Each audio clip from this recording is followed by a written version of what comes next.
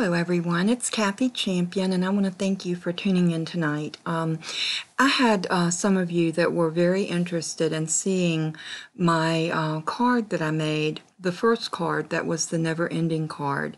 And it was the, the pretty yellow one, and it was very, very pretty.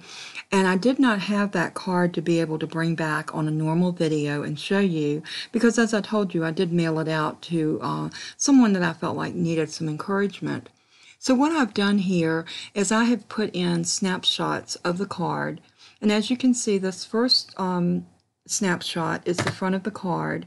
And uh, you see my greetings on the front of it. And then as we reach on into the second page, when you fold the card open, this is our second page. And this turned out so cute. I thought, I thought this card was very cheery and very uplifting. And uh, I enjoyed making it. With it being the first one that I did, uh, I thought it turned out really nice, and I was was pleased with it. So now, when you flip th this side up and down, you have the third page, and I thought this page was really cute too.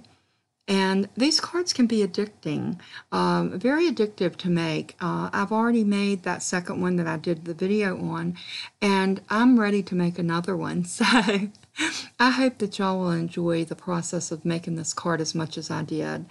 And, and the last um, file that you're seeing here, this is the uh, fourth page, the last page.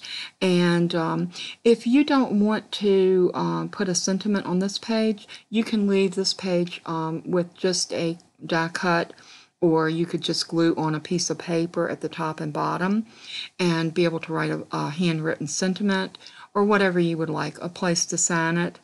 So, you know, you make this card yours. But I do want to thank you so much for tuning in.